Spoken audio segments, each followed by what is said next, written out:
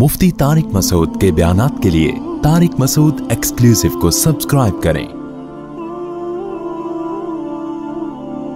Tariq Masood exclusive.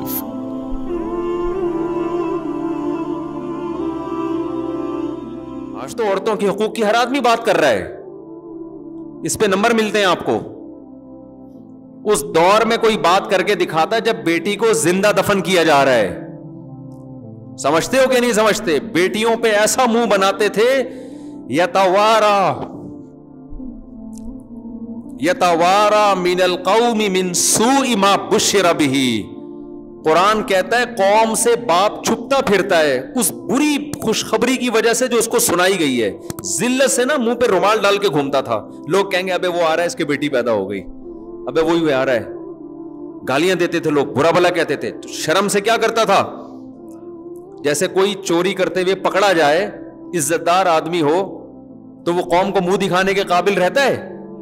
मुँह पे कपड़ा डाल के घूमेगा, यार, कुछ दिन ये खबर जब पुरानी हो जाएगी तो फिर सोसाइटी में चलूँगा। यतवारा मिनल कौम मिन सू कौम से छुपता फिरता है, और वल्ला मुस्वद्दम वहुवा कजीम। कुरान एक और बात बयान करता है कि इसका चेहरा जिल्लत से स्या रहता है। काला चेहरा नज़र आ रहा होता है, इतना जलील अपने आप को समझता है। और वहुआ कजीम और घुट रहा होता है। आप जब टेंशन में हो ना और टेंशन निकाल ना सकते हो तो जो आप मुसीबत के कड़वे घूंट पी रहे होते हो, इस अमल को कजम कहा जाता है अरबी में, कजम। इतनी बड़ी मुसीबत मेरे पास आ गई बेटी की पैदाइश। फहुआ कजीम और वो उस जिल्लत के घूंट को क्या करता है? पीता है। क्यों पी रहा होता है? अयुम सिकुहु अला होनिन अम यदुस्सुहु फितुराब कि क्या मैं इस जिल्लत बर्दाश्त करके इसको घर में बर्दाश्त कर लूँ? जिल्लत तो होगी, उंगलियाँ उठेंगी, बेटी का बाप जा रहा है। कि मैं जलील बन के बर्दाश्त कर लूँ क्योंकि बाप की मोहब्बत नहीं चाहती कि इसको दफन करे। अम यदुसहू फिर तुराब, या एक दफ़ा मैं जुल्म बर्दाश्त करके इसको दफन कर दूँ और हमेशा की जिल्लत से बच जाऊँ मैं। ये कंडीशन बेटी पे ये जुल्म जिस सोसाइटी में हो ना, ये जुल्म उस सोसाइटी में मोहम्मद सल्लल्लाहु अलैहि वसल्लम अपनी बेटी नहीं, बेटी की भी बेटी को कंधों पे उठा के नमाज़ पढ़ाने के लिए आ रहे हैं। बहुत मुश्किल है भाई बात समझाना। सही है, मुस्लिम की हदीस है। साहबा कहते हैं कि हम नमाज़ के इंतज़ार में थे। मस्जिद नबवी कितनी मुकद्दस जगह। अबू बकर, उमर, उस्मान, अली जैसे लोग पीछे। जोहर की नमाज़ है सैदुल अंबिया मुसल्ले पे नमाज़ पढ़ाने के लिए आने वाले इंतज़ार हो रहा है। कैसी अजीम महफिल है ना? तो कहते हैं, रावी हदीस के कहते हैं, हम देखते हैं कि नबी की बेटी की बेटी, यानी नवासी जिनका नाम जैनब था, छोटी सी बच्ची थी, नबी कंधे पे उठा के उनको मुसल्ले पे नमाज़ पढ़ाने के लिए आए बच्चों को इतना प्रोटोकॉल मुसल्लों पे कम अज कम नहीं दिया जाता। क्योंकि सबसे इज़्ज़त वाली जगह थी वो, सबसे ज़्यादा। उस वक्त मेरा ख्याल है रूए ज़मीन पर उससे ज़्यादा इज़्ज़त वाली जगह कोई भी नहीं थी, जहाँ पैगंबर खड़े हुए हैं। तो कैसी इज़्ज़त दे रहे हैं? बच्ची को कहाँ लेकर आ रहे हैं? कंधे पे बिठा के। साहबा ये मंजर देख रहे हैं कि जो हम में सबसे ज़्यादा इज्जतदार हैं, वो अपनी नवासी को ऐसी इज़्ज़त दे रहे हैं कि इससे ज़्यादा इज़्ज़त आपने शायद किसी को नहीं दी होगी। सरवर कायनात का कंधा है और मुसल्ला है और हालत है नमाज़ की। अब आप इसको काउंट करना शुरू करें। इतनी इज़्ज़त भी काफ़ी थी कि कंधे पे उठा के आए और मुसल्ले पे फिर नीचे रख दें। काफ़ी थी ना? बहुत इज़्ज़त हो जाती है अरबों की नज़र में। नमाज़ अपना प्रॉपर वे में ऐसे ही पढ़ाते, जैसे हमेशा पढ़ाया करते थे। भाई, आज कोई बाप बेटी को इज़्ज़त देगा, छोटी बच्ची को तो इतनी दे देगा ना, कंधे पे उठा के ले आएगा। पहली बात तो गोद में उठा के लाएगा। गोद में उठा के लाएगा। लेकिन पहली इज़्ज़त क्या दी जा रही है? गोद में नहीं। कहाँ? कंधे पे बिठाया जा रहा है। दूसरी इज़्ज़त क्या दी जा रही है? मस्जिद में लेकर आ रहे हैं। किसी दावत में ले जाना, वो भी इज़्ज़त है। मस्जिद में लाना उससे, बोलो ना, अब बोलोगे तो बात आगे चलेगी ना, चुप बैठे रहते हो। उससे ज़्यादा इज़्ज़त है। तीसरा, भाई लाके बिठा देते किनारे पे। हमारे भी बच्चे कभी रिड़ते हुए आ जाते हैं। कहीं खांचे में बैठ जाते हैं। लेकिन आप सल्लल्लाहु अलैहि वसल्लम उस बेटी को कंधे पे ही बिठा के तकबीर तहरीमा कह के नमाज़ शुरू कर देते हैं। अब आप बताओ, इससे ज़्यादा इज़्ज़त किसी मखलूक को पैगंबर के लिए देना मुमकिन है? है भाई? कंधे पे बिठा के क्या कर देते हैं? नमाज़ शुरू। ये कितने पॉइंट हो गए? तीन। चौथा पॉइंट सबसे ज़्यादा अजीब है। जब आप रुकू में जा रहे हैं तो ज़ाहिर है बच्ची गिर जाएगी, रुकू में जब जाएँगे। उठा के कंधे से नीचे उतार दिया। खत्म हो गई बात, भाई इज़्ज़त दे दी, बच्ची को जितना कंधे पे बिठा सकते थे, बिठा लिया ना। अब रुकू में जाएँगे तो ज़ाहिर है गिरेगी। अब बिठाते रहे, चारों रकते पढ़ा के सलाम फेर देते। साहबा देख लेते, आपने अपनी बेटी की भी बेटी, यानी जब बेटी की बेटी को ये इज़्ज़त दी जा रही है तो बेटी तो इससे ज़्यादा करीबी रिश्ता होता है ना। कमाल की बात है कि जब दूसरी रकत के लिए खड़े हुए हैं तो दोबारा उठा के कंधे पे बिठा लिया उसको, शाने पे। चारों रकतें इस तरह से पढ़ाई हैं। तीसरी के लिए खड़े हुए, फिर कंधे पे उठा के बिठाया। चौथी के लिए खड़े हुए, फिर कंधे पे उठा के बिठाया। यहाँ फुकहा परेशान है कि एक तरफ़ तो नमाज़ में हाथ हिलाने से, हरकत करने से नमाज़ टूट जाती है। नबी ने इससे पहले कभी ऐसा अमल नहीं किया। ये कयास से हटकर, एक आम शरीयत के उसूल से हटकर इतनी आप हरकत क्यों कर रहे हैं? जो शारहीन मुहदसिन के हैं ना, देखो हदीस की शुरुआत भी कुछ मुहदसिन करते हैं, कुछ ऐसे लोग करते हैं जिनको अल्लाह ने फिकही बसीरत बहुत दी है, जो बहुत गहराई तक पहुँचते हैं। हम कहते हैं ना, दो तबके हैं उम्मत में, एक हदीस को जानने वाले और एक फ़िका को जानने वाले। फ़िक़ह को जानने वाले का मतलब क्या? हदीस से मफहूम निकालने वाले, उसकी गहराई में जाने वाले। और ये कुरान से भी साबित है और हदीस से भी कि इस उम्मत में कुछ फ़की हैं और कुछ इल्म जानते हैं, उसकी गहराई का इल्म नहीं रखते। ये बात कुरान से भी साबित है और हदीस से भी।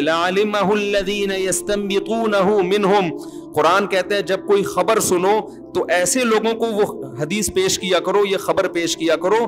कुछ ऐसे अल्लाह ने अक्लमंद लोग पैदा किए हैं, जो उसकी गहराई में घुस के तुम्हें उसकी हकीकत निकाल के तुम्हारे सामने रख देंगे। सरसरी हदीसों के अल्फाज रट लेना, नंबर याद कर लेना, इससे इंसान को तफक्को और बसीरत हासिल नहीं होती।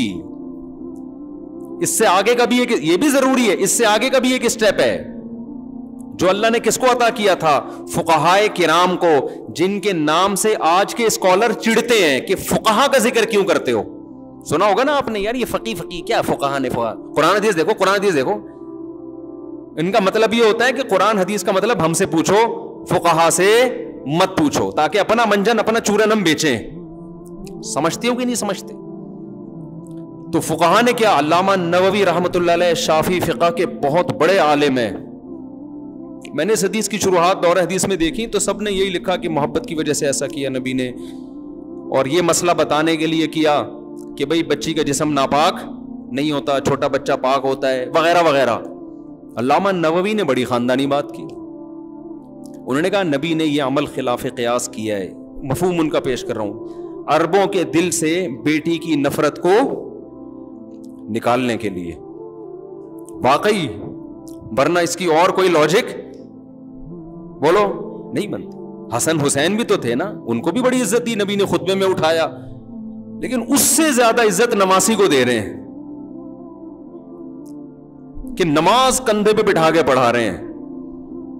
आपने बहुत मोहब्बत की हज़रत हसन हुसैन से, इसमें दो राय नहीं है। सैयदा शबाब अहल जन्ना, जन्नत के जवानों के सरदार लेकिन भाई, अपनी नवासी को कंधे पे उठा के चारों रकतें इस तरीके से पढ़ाई जा रही हैं। इसका मकसद, अगर आप गौर करें तो सिवाय इसके कि बेटी को जबान से जो आपने तरगीबात दी ना, आपने इसको इतना काफ़ी नहीं समझा हाँ? जबान से आप सौ दफ़ा बोलते रहे। जब तक प्रैक्टिकल करके नहीं दिखाते, लोगों के जहन जहनी तौर पे तैयार नहीं होते। लेकिन आज जो जमाना चल रहा है ना, वो जाहिलियत का दौर वापस आ गया है। पहले पैदा होने के बाद ज़िंदा दफन की जाती थी, आज अल्ट्रासाउंड करके माँ के पेट में ही उसको मार दिया जाता है। ये जंगली पढ़े लिखे, अल्हम्दुलिल्लाह, हम खुद अपनी आँखों से देख रहे हैं। इनमें डॉक्टर्स भी हैं, इंजीनियर्स भी हैं, इनमें पीएचडी स्कॉलर्स भी हैं, जिनकी औरतें, बल्कि वो खुद औरत औरत भी स्कॉलर्स होती है। अल्ट्रासाउंड से पता लगाया, बेटी है, कत्ल कर दो उसको। एजुकेशन अलग चीज़ है, इंसान का बच्चा बनना अलग चीज़ है। दोनों को लोगों ने आपस में मिक्स कर दिया है। आखिरत में निजात एजुकेशन की बेस पे नहीं होगी, इंसान का बच्चा बनने की बेस पे होगी। पहले इंसान को फोकस करो, इंसान तो बनाओ इसको। तो ये जुल्म आजकल हो रहा है। और ये भी हमने ऐसे भी गधे देखे अल्हम्दुलिल्लाह। गधा नहीं बोलूँ तो क्या बोलूँ? बच्ची पैदा हुई, माँ भी रो रही है, बाप भी रो रहा है। उल्लू का पट्टा। मैंने देखा है अपनी आँखों से मंजर। हॉस्पिटल में था, मेरे यहाँ विलादत होने वाली थी तो मैं घर वालों को लेके दस साल पुरानी बात है, हॉस्पिटल में गया, क्योंकि मैं सुनता था कि बाज लोग रोते हैं, मुझे यकीन नहीं आता था कि यार इतने भी गधे दुनिया में कोई हो सकता है। हिंदुओं में सुना था हमने, ऐसा होता है, और पास गैर मुस्लिमों में, मुसलमानों में कभी मैंने मैंने कहा, यार, बकवास करते हैं, झूठ बोलते हैं लोग, ऐसा कौन करता होगा यार? अपनी औलाद पे रो रहा है, पागल है क्या? मैं एक हॉस्पिटल में गया, मेरे यहाँ बच्चे की विलादत होने वाली थी। तो मैं बैठा हुआ हूँ, सामने देखा कि एक खातून ना रो रही है। और वो सारे बेंच पे बैठे हुए आँसू पोस के रो रहे हैं। मैंने कहा है लगता है इनकी बहू का इंतकाल ही हो गया। मुझे ऐसा लगा इत्तलाई है बहू भर गई।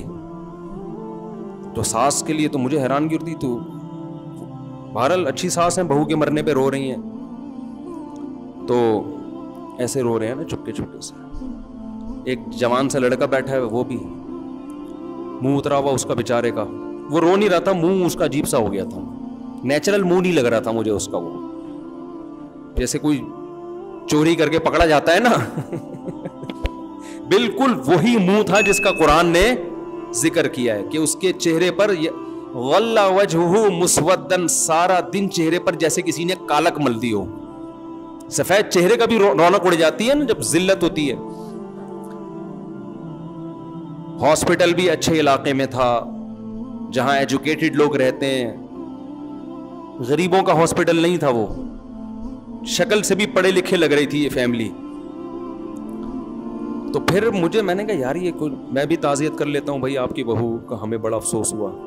तो शुक्र है मैंने ताज़ियत नहीं की, वरना पिटता मैं। पता चला कि जी, बेटी पैदा हुई है। और फिर वो उनकी मुझे आवाज़ आ रही थी, वो माँ कह रही थी, मेरे बेटे का तो चेहरा उतर गया ऐसे रोते रहे मेरे बेटे का तो जब से इतला मिल गया ना, मुँह ही उतर गया। ऐसे रो रही थी। ये जो मैं एक्टिंग करता हूँ ना मैंने पब्लिक से ही सीखी है। कोई ड्रामे ड्रामे देख के नहीं सीखी है।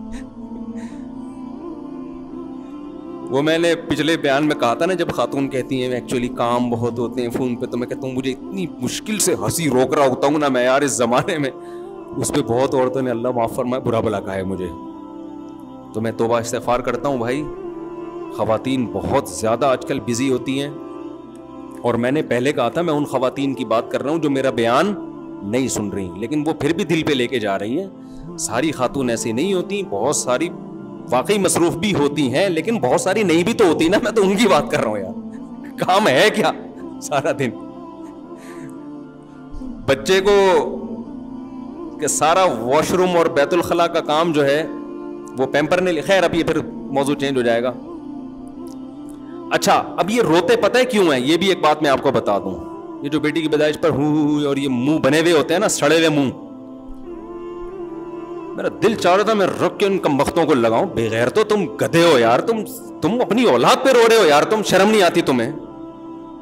वो जब बच्ची बड़ी होगी, कोई अगर बता दे कि तू पैदा हुई थी, तेरी नानी भी रो रही थी, तेरी दादी भी रो रही थी। क्या सोचेगी यार, मैं क्यों पैदा हुई? इंसानियत है यार गदापन और ये बेगैरती है क्यों? मैं तुम्हें बताऊँ एक गुना है जो तुम कर रहे हो, उसकी तुम्हें कुदरत की तरफ़ से चपत लग रही है। तुमने दिमाग में खोपड़ी में घुसा लिया दो बच्चे पैदा करने हैं, बस। ये इसका अजाब है अब ऑप्शन क्या है? दो का, उसमें चांस है, जुआ है। एक बेटा हो गया तो चलो एक बेटी फैमिली मुकम्मल। नहीं हुआ ना, हर बच्ची पे चीखे मार मार के रोगे कि ये तो मेरी नस्ल बढ़ रही है। ये इसका अजाब है हमारी सोसाइटी में। फैमिली प्लानिंग का अजाब है कि बेटी के पैदा होने पर लोग रो रहे हैं। जब आपने नस्ल छोड़ दी कि यार जितनी अल्लाह दे, मैंने ऐसे देखे चार बेटियाँ हुई, फिर चार बेटे हो गए। छह बेटियाँ हुई, छह बेटे हो गए। तीन बेटियाँ हुई, तीन बेटे हो गए। लेकिन जब आपने दिमाग में रख लिया कि दो, अब मसला ये कि बेटे हो गए तो ठीक है, नहीं हुए तो अब तो यार बाय चांस अब देखें अब क्या होता है। अरे, अब भी बेटी हो गई। तीन तीन, चार चार, पाँच पाँच, फिर अल्लाह की तरफ़ से भी चपेड़े लगते हैं। कि तू जिसको अजाब समझ रहा है ना, वही मैं दूँगा अब तुझे। ये अजाब है जो लगेंगी खुद, खुदा की तरफ़ से ना तपेड़े तबीयत से लगेंगे। और इस सोच के साथ जो बेटा पैदा हो रहा है ना, वो कौन सा इंसान का बच्चा निकलेगा? जब तुम खुदा की पॉलिसियों पे अमल नहीं करोगे, अपनी पॉलिसियों पे चलोगे, और आप कहोगे दो ही चाहिए और इनमें एक बेटा भी लाजमी हो तो वो अगर दो के दो भी बेटे हो गए ना तो ये अल्लाह को खुश करके नहीं हुए। इसमें इस बात का इम्कान है, ये दो ऐसी चित्रौल लगाएँ कि आप कहें, ये छह बेटियाँ हो जाती, उन दो कम वक्तों से क्या थे ये? वो छह बेटियाँ, इन दो कम वक्तों से अच्छी थी वो। ये बन जाएगा जो हो रहा है सोसाइटी में। अल्लाह से लड़ने के बहुत सारे तरीके होते हैं। एक लड़ाई का तरीका यह भी है कि अल्लाह कह रहा है यह इनासा जिसको चाहता हूँ बेटियाँ गिफ्ट देता हूँ। अल्लाह के गिफ्ट पे रोना चाहिए कि खुश होना चाहिए? और जिसको चाहता हूँ, बेटी, बेटा नहीं, बेटी भी नहीं, बेटियाँ। और जिसको चाहता हूँ, बेटे गिफ्ट देता हूँ। आओ यू जो हम जुकरान इनासा जिसको चाहता है, दोनों गिफ्ट दे देता हूँ। तो गिफ्ट तो जितना ज़्यादा हो अच्छा है ना? जब आपने खोपड़ी में बिठा लिया कि नहीं, मेरा दोस्त मुझे गिफ्ट दे तो जितना ज़्यादा है, मैं मैनेज कर लूँगा। लेकिन अल्लाह जब गिफ्ट दे रहा है तो मेरी तनख्वाह अफोर्ड नहीं कर सकती। मैं इस तनख्वाह में छह बच्चे नहीं पाल सकता। भाई, अल्लाह कह रहा है, तू पैदा होने दे, तेरी बीवी की छातियों में इस बच्चे के लिए दूध पैदा कर दूँगा। नहीं, अल्लाह, तू दूध ही पैदा कर सकता है। बाकी तुझे क्या पता इस जमाने में क्या क्या चाहिए बच्चे को? हमें पता है ना, हमसे पूछ। अल्लाह कन्वेंस का खर्चा चाहिए, बच्चों के स्कूल की फीसें चाहिए, और सिटी स्कूल, बीकन हाउस में हमने पढ़ाना है बच्चे को। आठ आठ हज़ार का की फीसें हैं, उनकी बीस बीस हज़ार फीसें हैं, अल्लाह। फिर अगर कोई बीमारी आ गई, आगा खान हॉस्पिटल में हमने इलाज कराना है, फिर बच्चा बड़ा होगा, स्टेबल होगा, पीएचडी कराना है, एमबीए कराना है, फिर हमने उसको बाहर भेजना है। अल्लाह को तो पता ही नहीं है, दूध पैदा करके वो समझ रहा है कि मैंने बहुत कुछ कर दिया। नहीं आई मेरा ख्याल है बात समझ में। अल्लाह समझ रहा दूध मैंने पैदा कर दिया, बस क्या हो गया? अल्लाह को पता ही नहीं है यार। कम वक्त थोड़ा सा दिमाग लड़ा के सोच, इस वक्त बच्चे को दूध की ज़रूरत है। ऐसा दूध पैदा किया, इसका ऑल्टरनेट जापान के साइंसदान भी अब तक ईजाद नहीं कर सके। ये उसकी साइन अलामत है कि जो ये कर सकता है, बाकी चीज़ें भी कर सकता है वो। और अगर नहीं करना चाहेगा तो इकलौते बेटे के लिए भी नहीं करेगा फिर वो। उसकी उसकी मर्ज़ी पर है। चाहेगा तो तेरे दर्जन बच्चे होंगे, सबकी फीसें दे देगा। नहीं चाहेगा तो एक की भी नहीं देगा। तो इसमें एक और बारह, अल्लाह की नज़र में क्या है? बराबर है। ये मैं इसलिए कह रहा हूँ, किसी के बारह बच्चे फीसें नहीं उठा पा रहा तो लोग कह सकते हैं उसके बारह को अल्लाह ने फीसें क्यों नहीं दी? तो ऐसे तो मेरे इल्म में ऐसे एक है, लेकिन उसकी भी फीसें नहीं है उसके पास। तो ये अल्लाह पर है कि उसने आपके बच्चों को अल्लाह सिटी स्कूल में पढ़ाना चाहता भी है कि नहीं चाहता? जो अल्लाह चाहता है, वैसा कर लो। अल्लाह अगर उनसे टमाटर की रेडी लगवाना चाहते हैं, अल्लाह में इस पे राज़ी है, कोई बात नहीं, टमाटर बेचेगा ये। तवक्कुल का ये मतलब थोड़ी है कि मेरे सारे बच्चे एमबीए करें और सारे डॉक्टर बने। तवक्कुल का मतलब ये है कि मैं अल्लाह के मर्ज़ी के खिलाफ नहीं चलूँगा, मैं नस्ल नहीं रोकूँगा। अल्लाह मेरे बच्चों को आलिम बनाए, मुफ्ती बनाए, डॉक्टर बनाए, इंजीनियर बनाए। तो अल्लाह का वादा है कि इस्तिगना के साथ चलोगे, मुझ पर तवक्ल करोगे वमई तवक्ल फहुआ हसबू। जो अल्लाह पर एतमाद करते हैं, बस अल्लाह कहते हैं, मैं काफ़ी हूँ। अब मैं इसके साथ मामला करता क्या हूँ? ये मुझ पे छोड़ दो, अपने ऊपर नहीं जाओ इसको। तुमने नहीं फैसला करना, ये ये बनेगा। ये बस मेरे पर छोड़ दिया ना, मैं करूँगा। तुमने अपनी ज़िम्मेदारी पूरी करनी है, तरबियत की, तालीम की, जितनी गुंजाइश है। नहीं है तो रो नहीं, कोई बात नहीं। टमाटर के ज़रिए इसको मैं आगे तक मैं कितने जानता हूँ यार, कचरा चुनते थे आज करोड़पति है। स्क्रैप का बहुत बड़ा बिज़नेस है उनका। उनका अब्बे के पास पैसे होते ना, वो उनको पढ़ा के कमाऊ बना देता वो सुबह सुबह सूट टाई लगा के बॉस के चमचे बने हुए होते और एक डेढ़ लाख रुपए तनख्वाह लेके आ रहे होते वो तो शुगर है अब्बा के पास पैसा नहीं था। वो बिज़नेस पे आए और आज नोट छापने की मशीन बने हुए हैं वो लोग। बहुत मुश्किल है यहाँ आके फिर खोपड़ियाँ घूमना शुरू होती हैं। लेकिन वही है, जितना बोलते रहो बोलते रहो, कोई हिलने के लिए तैयार नहीं है। तवक्कुल करो अल्लाह पे अल्लाह पे एतमाद करो, कहाँ से कहाँ चली गई? तो फिर बेटियाँ भी होंगी और बेटे भी होंगे, कोई बात नहीं। अल्लाह देगा कसरत से, बेटियाँ भी देता है, बेटे भी देता है। ये तो इंसान में ऐसा है कि बाज दफ़ा तीन तीन चार चार बेटियों की लाइन लगती है, फिर चार चार बेटे पैदा हो जाते हैं। बाज दफ़ा छह छह बेटियाँ होती हैं, फिर छह बेटे लाइन लग जाती है। लेकिन जब आपने कहा कि दो चाहिए, अब ऑप्शन अब तो मुकाबला सख्त है ना, आखिरी दो गेंदों पे छक्का लगाना है तो बैट्समैन तो डिप्रेशन में जाएगा ना? अब ऑप्शन का मैं दो, जिसके हो गए, वो तो बड़ा उछलता है, कूदता है, कलाबाजियाँ खाता है, भाई मेरी फैमिली मुकम्मल, जिसके नहीं हुए, उसको लगती है चपत। और फिर बड़ी टेंशन ये कि छह छह बेटियाँ, सात सात बेटियाँ, बेटे की लालच में और वो हर दफ़ा में उसकी उसकी इरादा नहीं होता कि ये पैदा हो। मजबूरन एक ट्राई करके देखते हैं, शायद इस दफ़ा मार्केट में बेटा आ जाए। तो छोड़ दे यार, बेटी दे, बेटा दे, ये किसका काम है? अल्लाह का काम है। आप नस्ल मत रोको। अब देखो, मेरे बेटे पैदा हुए शुरू में, फिर बेटियों की लाइन लग गई, फिर बेटों की लाइन लग गई दोबारा। तो वो ऐसा ही हो रहा है। इस तरह से खुद बहुत फितरत उसको क्या करती है? मैनेज कर लेती है। तो फिर चैनल ज़्यादा हो तो एक चैनल से बेटियाँ हो रही है दूसरे चैनल से बेटे शुरू हो जाएँगे। चैनल भी एक ही रखा हुआ है। क्या क्या चीज़ें स्क्रू पाना लेके मैं सीधी करूँ आप लोग की भाई? सारी सेटिंग आउट है, मुझे तो आपको खोल के जोड़ना पड़ेगा दोबारा।